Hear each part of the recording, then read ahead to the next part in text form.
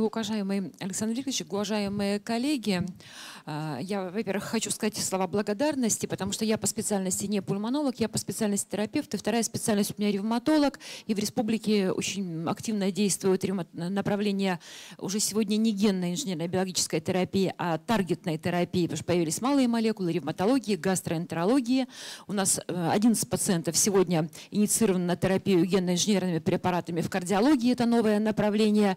А сегодня я представлю, э, может быть, даже не столько наши успехи, сколько те проблемы, с которыми сталкивается каждый регион, каждый специалист по организации помощи, ну, по любым направлениям внутренних болезней, и в том числе пульмонологии. Кто не знает, Республика Карелия очень небольшой регион. Мы, мы ваши соседи, 4 часа на машине, и вы уже в Республике Карелия. Но, к большому сожалению, численность населения каждый год уменьшается официально, по официальным данным, на 20 тысяч. Из около миллиона, мы приблизительно, нас было миллион в 90-е годы, сегодня 622 тысячи. Это не говоря о нелегальной миграции, в первую очередь молодежи, поэтому проблема достаточно серьезная.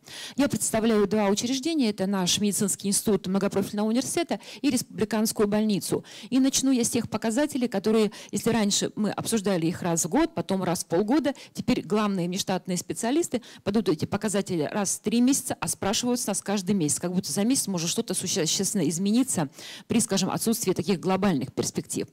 Значит, динамика показателей смертности населения Республики Карелия от болезней органов дыхания. Вот мы зелененькие, синие – это северо-запад и Российская Федерация. Мы анализируем мы сравниваем с другими регионами, с другими регионами, и мне не совсем понятно, вот мы очень близки к Санкт-Петербургу, к Ленинградской области по показателям смертности, но почему-то вот у нас э, Мурманская область выдает показатели смертности на уровне южных республик. Вот что-то где-то опять в статистике не так. Мы проанализировали за 6 месяцев, у нас был некий рост, э, некий рост.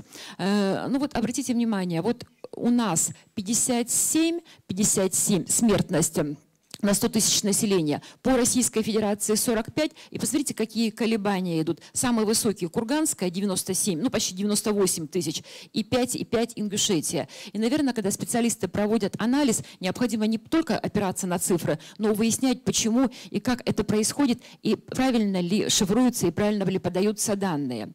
Что касается показателя смертности от пневмонии, это один из 19 показателей, которые ежемесячно спрашивают с нас организаторы здравоохранения. Значит, если Российской Федерации он 19, то у нас 36 36. Значит, мы провели анализ летальности. Что мы увидели? 2017 год, 2018 пока еще нет. Значит, госпитализируются 80%. Почему я показываю эту цифру? Опять же, один из показателей, по которому мы отчитываемся, это количество госпитализированных, процент госпитализированных с небольничной пневмонией. В Российской Федерации он должен быть не менее 85.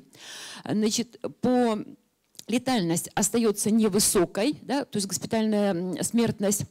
По Хоббл госпитализация Значит, вот здесь хочу обратить внимание, почти 50% госпитализированы из, хоб... из всех госпитализированных экстренно. То есть это значит то обострение, которое требует или нахождения больного в э, блоке интенсивной терапии, или требует кислородотерапии. И по бронхиальной астме, по бронхиальной астме у нас увеличивается количество в последний 17 и 18 год, которые экстренно госпитализируются э, с астматическими статусами. Вот сейчас недавно только что сан транспортом была доставлена пациентка очень тяжелая с района. Связано это в первую очередь в том, что в 2018 году, я думаю, что много вам известно, очень сложные процессы закупки, изменил 44-й федеральный закон, и мы практически 8 месяцев по федеральной и региональной льготе жили без лекарственных препаратов. А наши пациенты ну, не всегда понимают, что иногда, может быть, на какой-то период времени нужно потратить свои деньги. Вот обратите внимание тоже на очень, вот будет доклад Галины Раисовны по пневмонии. Должно быть 85% 40% госпитализированы. У нас по Карелии 62. Нас за это ругают. Но обратите внимание, это центральные районные больницы. Где-то 100. О чем это говорит? Это говорит о том, что не тяжелая пневмония да, не диагностируется. То есть там нет специалистов, там нет рентгенологического обследования. То есть они ну, выздоравливают сами. Да? И есть регионы, где почему-то всего 10% госпитализируются. Мы пробовали, анализировали, но я дальше покажу, что мы получили. Значит, я уже сказала, что 62 по сравнению с 85 аминостепине необходимым, но в стационарах из всех умерших умерло только 56%. То есть почти чуть меньше половины пациентов погибают от небольничной пневмонии на дому. И сразу возникает вопрос, почему? Да? Почему их не госпитализировали и пневмония ли это была? И ли это была. Значит, когда мы стали анализировать да, с главным нашим пульмонологом все случаи смертности от э, пневмонии, значит, что мы увидели? Мы увидели, что все, кто погиб в 17 и в, за 6 месяцев 2018 года, не были вакцинированы. Да, не были вакцинированы против гриппа, и по, если были показания, то не были госпитализированы антипневмококковыми вакцинами. Роста летальности, именно госпитальной летальности не наблюдается, если пациент поступает, то, в общем-то, помощь оказывается та, которая необходима. Да, и э, когда с 2018 года у нас больница скорой медицинской помощи обязательно стала вскрывать всех пациентов, у кого основной диагноз идет внебольничная пневмония, оказалось, что в большинстве случаев пневмонии там не было, это была тела, это были опухоли, и самое главное большое, это были пациенты пожилого возраста, кардиологической патологии, с сердечной декомпенсацией сердечной недостаточности. Э, что мы сделали? Ну, это документы, которые вам всем хорошо известны. Мы в июне, 20, 29 э, июня подписали приказ Минздрав, Минздрава об организации оказания медицинской помощи пациентам с небольничной пневмонией. Естественно, за основу мы взяли рекомендации, я не буду их дублировать. Что мы там прописали? Мы прописали очень четко, какие пациенты должны лечиться амбулаторно, какие пациенты, исходя из тяжести, коморбидной патологии и так далее, и так далее. Значит, какие пациенты должны госпитализироваться в центральную районную больницу на уровне первичной помощи, пациенты с тяжелым, особенно требующие э, реанимационной помощи, пациенты с коморбидной патологией, это меж межрайонные крупные больницы, где есть круглосуточная работа кардиолога, где есть круглосуточный компьютерный томограф, неврологи. И э, это сценарий, который напрямую связан непосредственно уже с больницей скорой медицинской помощи и с нами, с республиканской больницей. Ввели обязательность правильного рентгенологического обследования. Еще раз подчеркнули очень жестко основные положения антимикробной терапии, не только рациональность, но и быстрота назначения, потому что при анализе мы видим, пациент, пациент поступил утром с тяжелой пневмонией, антибиотики начались к вечеру. Пациент поступил вечером, антибиотики только пошли утром, потому что старшая сестра не позаботилась, не получила, да, не получила, и не назначили вот в тот момент, а только тогда, когда положено по мнению медсестер. Мы разработали алгоритм действия на амбулаторном этапе. Мы ввели приказом Минздрава чек-листы для врача первичного звена, для врача скорой медицинской помощи и для врача приемного покоя, чтобы быстро решить, потому что, к сожалению, когда анализируешь историю болезни, то, чего нужно для оценки степени тяжести, в истории болезни нет. Маршрутизацию ну, и диспансерное наблюдение. Мы рекомендовали создание таких приказов по лечебным учреждениям, чтобы был внутренний приказ, ну и строгий контроль. Значит, те основные нарушения, которые мы постоянно выявляем э, у больных с органами дыхания. Недооценка тяжести пациента и, соответственно, временная госпитализация и, и стационар или блок интенсивной терапии. Рентгенологическое исследование, неправильная формулировка диагноза и, может быть, даже не столько по пневмонии, здесь мы обучили наших врачей-терапевтов, сколько на коморбидный фон. То есть куда-то ушел сахарный диабет, куда-то ушла тяжелая кардиологическая патология, много пациентов на таргетной терапии, это и онко, и ревматологические пациенты, а это очень важно сегодня для стартовой терапии. Значит, нерациональная антибактериальная терапия, я уже об этом сказала. К сожалению, это связано и с закупками, и с невысокой грамотностью в ряде регионов. Мы четко знаем, где. Ну и самая большая проблема, это опять же 44-й федеральный закон. Мы покупаем, ну, по-моему, можно дешевле, но уже не, некуда, а для тяжелой пневмонии это очень серьезный вопрос. Э, и очень часто приходится переводить пациентов на второй уровень терапии через 48 часов. И самое главное, использовать оригинальные резервные препараты, что тоже не есть хорошо. Я уже сказала, что недооценка тяжести – несвоевременный перевод на ИВЛ. Здесь есть и грех наших коллег-реаниматологов, они отказываются вовремя брать пациентов. Я говорю о районных больницах, да, не говорю о республиканской больнице или больнице скорой медицинской помощи. У нас, к сожалению, в районах нет газового состава артериальной крови. В случае летального исхода не проходят вскрытия, и вскрытия не проходят умерших на дому, особенно есть какой-то фон. Э, вот с этим мы сейчас начали бороться, и с 2018 года у нас уже совсем другие результаты по смерти смерти от внебольничных пневмоний. После выписки нет рекомендации по вакцинопрофилактике. Значит, мы предлагаем меры по снижению, и я расскажу, как мы пытаемся их реализовать. Ну, первая вакцина профилактика пневмококковая инфекция. Понятно, это не только больные с ХОБЛ, да, это должны быть все пациенты старше 65 лет или наличие коморбидной патологии. Но все упирается опять в финансы. На 2018 год у нас всего было закуплено 20, 275 вакцин. Это для, только для больных с ХОБЛ, только для больных э, с ХОБЛ. Я не беру призывников, там отдельная программа, там все гораздо более благополучно. Ну и очень большая проблема. Сегодня, опять же, направлено все действия на кардиологию и на онкологию, да, и на онкологию, и о том, что в центральных районных больницах, в ряде поликлиник нет нормальной диагностики, нет нормальной спирометрии, да, спирометрии, проведения небулайзерной терапии. Небулайзерной терапии, в общем-то, к сожалению, сегодня мало кого беспокоит. По вакцинации мы посчитали, у нас 3600 человек с ХОБЛ и 91 пациент старше 65 лет. Ну, посчитайте, умножьте даже на 2000, какие это деньги. Ну, здесь дело не только в финансировании, дело в поэтапности. В этом году нам одобрили заявку на 5000 пациентов. Мы не будем их делить на ХОБЛ или пациентов старшей возрастной группы. Мы будем все, кто придет в поликлинику, вакцинировать, а потом смотреть. Естественно, пульмонологи рекомендуют это сделать обязательно. По коллегии ну, смертность, она и так обязательно, патологономическое исследование, анализ поздних госпитализаций и низкий процент госпитализации. Разработка мер дальше. Значит, мы разрабатываем маршруты, протоколы, я потом поговорю, и мы очень активно работаем не только по социально значимым заболеваниям, но и по редким заболеваниям. У нас есть протоколы для пациентов с легочной артериальной гипертензией, протоколы по идиопатическому легочному фиброзу, и сейчас готовим протокол по хронической крапивности, чтобы мы видели, понимали, эти пациенты наблюдались только в экспертном центре. Значит, проведение э, спирометрии. Опять же, вот доктора-пульмонологи, обратите внимание, про программа диспансеризации, шкала СКОЯ, холестерин, сахар, да, и совсем, опять же, забывают о том, что необходимо раннее выявление больных с хронической обструктивной болезнью легких.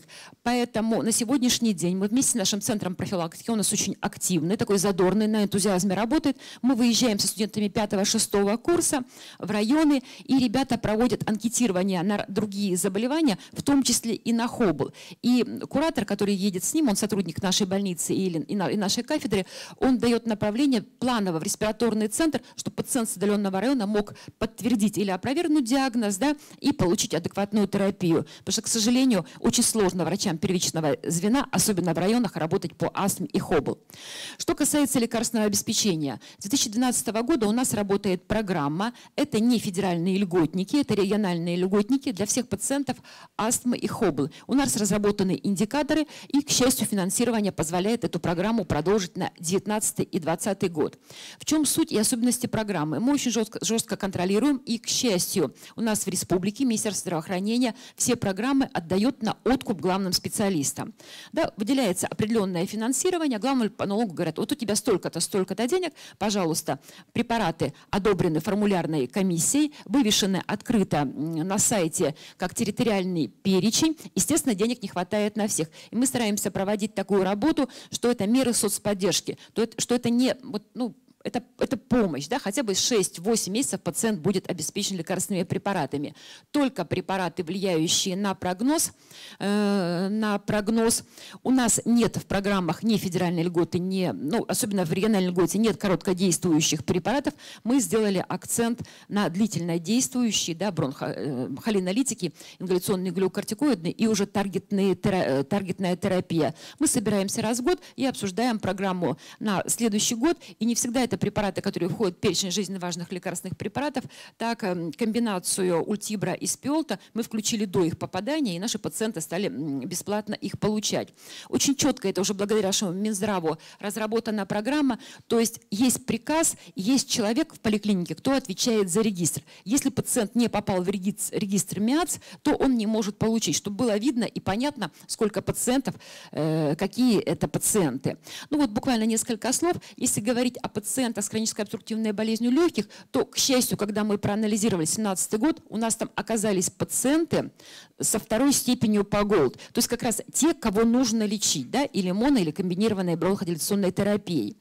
И э, это пациенты, естественно, раз они пришли, раз они оказались в поле зрения врача, это пациенты с выраженными клиническими проявлениями. И сегодня эти пациенты сразу инициируются или на комбинированную терапию, или моно, на монотерапию. Если монотерапия оказывается неэффективна, то быстро очень пересматривается, пересматривается.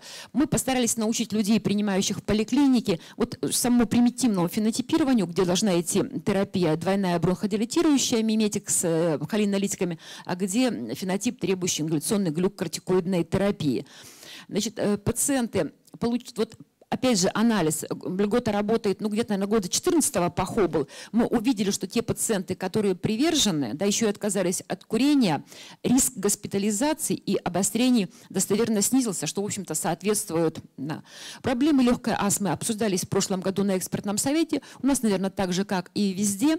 Да, интермитирующая астма резко, редко обращаются. Как правило, это только призывники, когда идут экспертные вопросы. Естественно, они не вносятся в республиканский регистр, если нет потребности особенности в терапии не наблюдаются, самостоятельно используют, и мы видим то, к чему это приводит. Это приводит или обострение, или контакт с аллергеном достаточно к тяжелым ситуациям у молодых, в общем-то, пациентов с легкой бронхиальной астмой. Ну и пациенты Врачи первичного звена, еще одна проблема, не определяют степень тяжести бронхиальной астмы. Несмотря на обучение, несмотря на занятия, они, как правило, переписывают из предыдущих записей. И вообще вот эта проблема диагноза и проблема динамического наблюдения, да, динамического, даже у пульмонологов да, первичного звена такое есть. Просто переписали диагноз, выписали препарат или написали, что все хорошо, без оценки шкал. Оценки шкал, э, оценки и для астмы, и для хоббл у нас обязательно используют пульмонологи в стационарах и прогрессивные молодые пульмонологи в поликлиниках. Потихонечку перешли, и врачи, с учетом работы бережливой поликлиники, главные врачи очень довольны, что, в общем-то, это проводится. Буквально пару слов о федеральной льготе. Вы видите сумму да, для федерального льготника. Вы знаете, сколько у вас пациентов вообще в стране отказалось э, предпочтя те деньги, которые есть. И вот э, та ситуация, которая у нас возникла с 2017 года, да, мы, э, честно скажу, мы не сопротивлялись, мы очень боялись перехода с оригинальных препаратов на биоаналоги, а это биоаналоги, это не генерическая замена, и биоаналог всегда требует подтверждения эффективности, безопасности, очень часто иммуногенности, э, подтверждения иммуногенности. Но вот с 2017 года три препарата которые мы закупаем, они э, компании Натива, э, Натива э, в рамках 44 федерального закона. Мы как бы зная о том, что возможны побочные эффекты, возможно неэффективность, неэффективность, собрали всех клинических фармакологов, у нас в поликлиниках работают клинические фармакологи и пульмонологи, и попросили их давать не только побочные эффекты, когда принято, но и не, неэффективность неэффективность. Естественно, мы столкнулись, что у ряда пациентов э, оказалось неэффективно, ряд пациентов отказались, что пациент привержен какому-то торговому наименованию, даже без того, чтобы они пробовали есть э, проблемы. Но вот больших проблем мы не увидели. И знаете, мне кажется, почему мы не вообще вот мало видим проблем, потому что наши пациенты очень не привержены к терапии, особенно если это не настоящая тяжелая астма. Если вот есть время, мы идем со студентами, с ординаторами на обход и начинаем спрашивать, что пациент принимает и как часто. Вы знаете, вытаскивается мешок препаратов, и пациент не может четко показать, что, а уж два раза в день, да, два раза в день по два вдоха – это крайняя редкость. Поэтому вот эта проблема пульмонологии, в отличие от кардиологов, других специальностей, там таблетки или инъекции. Да? У пульмонологов да, вот самый сложный для использования основной, основные препараты. Ну вот мне понравилось очень это исследование, хотя бы я с ним поспорила, почему заменяют. Мне кажется, что это исследование проводилось с четко выбрать ответ, выбрать ответ. Если провести в реальной практике и не дать выбор ответа, а попросить человека самого написать ответ, увидели бы очень много интересного, интересного. Но, к сожалению, проблема вообще как по принципу замены на биоаналоги. Биоаналог должен заменять, оригинальный препарат заменять только в случае согласия пациента, да, международные рекомендации по биоаналогам. Вот мы столкнемся с этим, пока, к счастью, мы еще не работали генно-инженерными препаратами, ну, кроме Ксалара в России, но в ревматологии сегодня уже биоаналоги есть, да, в онкологии уже биоаналоги есть. И, к сожалению, у нас волевым решением это принимается. Но, тем не менее, тем не менее, мы работаем, да, работаем уже препаратами компании Натива и пациенты, ну вот это с точки зрения обучения, и э, многие пациенты, многие пациенты, в общем-то, особенно кто первично пошел, пошли. Но опять же, это должен быть очень жесткий контроль. И, конечно, здесь нужна медсестра, которая научит, обучит, расскажет и оценит эффективность. Если мы четко можем написать, что препарат да неэффективен, да, мы можем и через ВК заменить на другой препарат. Но это сложные вопросы, и кто этим должен заниматься, остаются. Далее, у нас создан регистр э, по саркоидозу. Регистр по саркоидозу ведет заведующий центром респираторным. У него написана кандидатская диссертация, проведены очень интересные генетические исследования, но самое главное, что больные саркоидозом наблюдаются у одного человека. Да? Ну, вы, опять же, поймите, маленькая республика Карелия. Карелия. У нас созданы регистры больных легочной артериальной гипертензии и хронической тромбоэболической легочной гипертензии. С этого года мы начинаем вести наш молодой аллерголог-пульмонолог хронической крапивницы и хотим посмотреть данные по коморбидности, по дефициту витамина D. Очень интересный должен быть проект, если все у нас получится. Регистры мы создаем на базе медицинского института, нам помогают наши айтишники по нашей просьбе. Так как эти пациенты наблюдаются в специализированном центре, юридически это возможно, да, в отличие от регистров, э, с которыми проблема вообще в Российской Федерации. Ну, естественно, у нас э, российские регистры, российские регистры. И вот если говорить о, еще о плюсе, когда мы закупили биоаналоги генерические компании Натива, у нас освободились деньги – у нас выводились деньги. И это позволило использовать это деньги при хронической крапивнице на таргетную терапию. И самое главное, сегодня у нас два пациента с верифицированным диапетическим легочным фиброзом получают таргетную терапию, что, в общем-то, для Республики Карелия э, неплохо. Вот на примере легочной гипертензии, как мы занимаемся. Регистр, пациенты с подтвержденным ЛАК и ХТЛГ, 18 человек, протокол диагностика, маршрутизация, направление, направление в экспертный центр, это центр Алмазова в нашей больнице. Сделаны протоколы для первичного звена, как обследовать до нашего этапа, что исключить, исключить другие причины легочной гипертензии, куда пациенты госпитализируются, и наши пульмонологи взяли на себя ХТЛГ. Координатор врач-кардиолог. Мы сами выполняем катетеризацию. Все 18 пациентов, обратите внимание, у нас получают таргетную лак-специфическую терапию, в том числе и комбинированную в рамках адресной помощи и орфанной, если это идиопатическая лак. И все пациенты обсуждаются с референтным центром, или пациенты направляются, или пациенты Э, заочно консультируются в виде Э, таких э, с центром. И раз в три месяца эти пациенты осматриваются врачом-кардиологом, они направляют свои данные, приводят свои данные, и раз в три месяца решается вопрос о смене терапии или направлении на додиагностику или лечение. Вот те препараты, которые у нас есть, силдонафин, базентан, мацентан, два человека, риоцигуа, цилнофил и лапрост. Э, большая часть этих пациентов, это тяжелые пациенты, идут на комбинированной терапии, и у нас сегодня есть три пациента, которые прооперированы по поводу ХТЛГ, два в Алмазовском центре и один в Новосибирске в центре Мишалкина. Регистр больных с саркоидозом, 73 человека на 100 тысяч населения. населения. Э, это верифицированный саркоидоз, морфологически подтвержденный, опять же наблюдаются. И вот э, э, должна быть вот в следующем году защищена кандидатская диссертация. Это, еще раз хочу сказать, не сотрудник кафедры, это заведующий респираторным центром, практический доктор, который сделал. Мы помогали только генетическое исследование, исследования в рамках нашего, нашей академии, э, не медицинской, а большой академии, и мы помогали по созданию регистра электронной базы. Значит, последние у меня слайды. Значит, это наша совместная работа с Центром профилактики. И опять обратите внимание, при диспансеризации выявлена болезнь органов дыхания только 1,3. То есть врачи первичного звена не на настроены да, вот в рамках тех нормативных документов на выявление в первую очередь хобл. Ну, с астмой пациент придет, и то не всегда. А больные с хобл приходят к нам третья, четвертая, в общем-то, на финале, и диспансеризация здесь мало чем помогает. Профилактика табака, курения, все здесь разработано, на, есть э, официальные все сайты, мы с Санкт-Петербургом активно работаем, но опять же результаты. Обратите внимание, 17 год, 16 год, прошу прощения, 1300 человек обратилось в кабинет методы профилактики, да, и только 4% отказалось от табакокурения. Да, к сожалению, к сожалению, это и недостаток нашей работы, потому что не хватает сил и возможностей, и это отношение наших пациентов, даже придя платно, даже закупив, в общем-то, э, лекарственные препараты. Активно мы работаем по вакцинациям, по вакцинациям, опять же, с Центром профилактики. Мы вакцинацию проводим в крупных торговых центрах, специальные кабинеты сделаны, и выездные. Мы в прошлого года вели очень интересное мероприятие «Итоги года в респираторной медицине». Наш главный пульмонолог докладывает то, что произошло на уровне мировой пульмонологии. Это достижения и рекомендации Американского таракального общества. Это респираторные, наши респираторные, это коморбидные, какие препараты появились, какая И мы принимаем такую некую программу. Значит, ну, еще раз сказала, что протоколы у нас сегодня уже разработаны. Ведение регистров социально значимых заболеваний хотя бы на уровне МИАЦа, хотя бы то, что есть.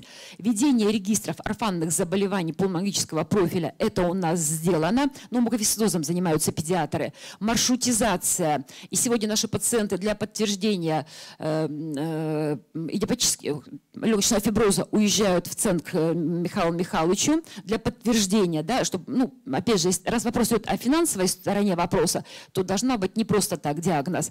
Значит, и мы также разработали протокол и для нашего стационара республиканской больницы, то есть больницы третьего уровня, и для первичного звена, каких пациентов направлять к нам, что нужно исключить, что нужно посмотреть.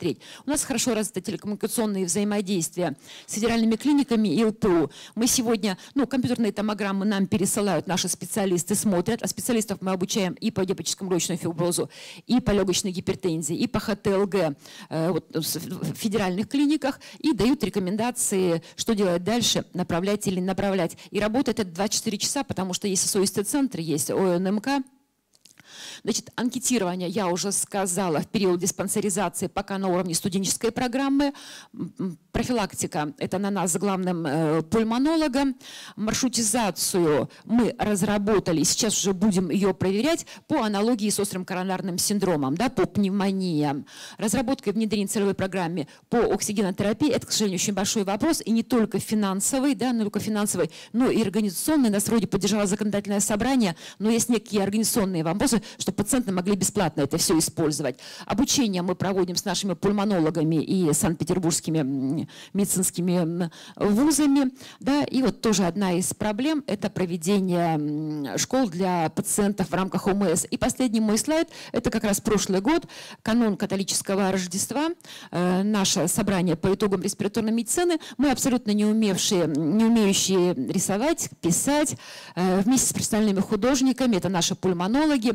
Пульмонологи написали вот четыре такие картины, они висят у нас в отделении. Это нарисовало старшее поколение «Связь с землей». А вот это наши молодые пульмонологи. Когда мы спросили, кто это, они сказали, что это пульмонологи да, на уровне Голд и Джина и других рекомендаций, а это терапевты и врачи общей практики, которых, к сожалению, мы должны подтягивать. Благодарю за внимание.